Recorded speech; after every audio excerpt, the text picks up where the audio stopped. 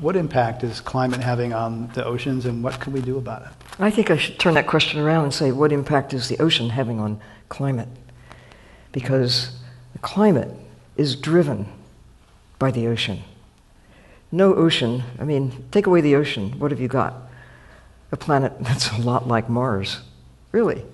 I mean, Mars is smaller than Earth, but Earth is governed very largely because we're an ocean planet.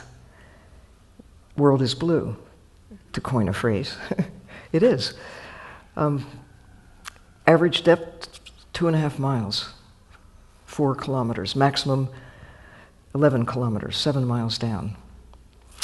And the ocean is where most of the action is. It's not just where most of the water is, it's where most of life on Earth is. It's where the greatest diversity of life is.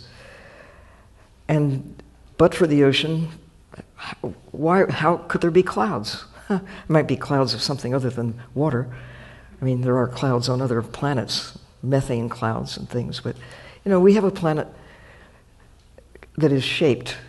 The chemistry of it, the temperature, the, uh, the ocean is Earth's great thermoregulator. Holds heat, releases it slowly. Holds cold, releases it gradually.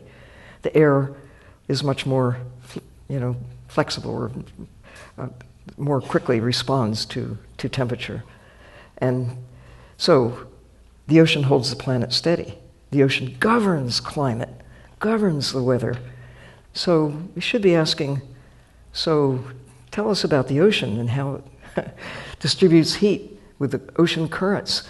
Think of this that most of life on Earth lives in the dark all of the time. And I don't mean just places like Washington, D.C. I'm, I'm talking a thousand feet underwater or more. And the average depth is two and a half miles. How much, you know, we're looking at the skin of the ocean that is illuminated half the time, or more, something like half the time, when the sun is around. But below that, it's dark. That's where most of light, and it's cold, even in the tropics. You get to a thousand feet, there's a temperature drop of whatever it is at the surface. Maybe it's 30 degrees centigrade. and at a thousand feet, it may be 12 degrees centigrade.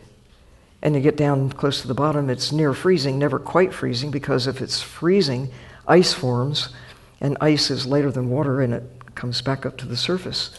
So that's part of the miracle of water that has all these forms of ice and vapor and liquid. And you see it in, in places like the Arctic and the Antarctic, where you have all three forms right there all the time.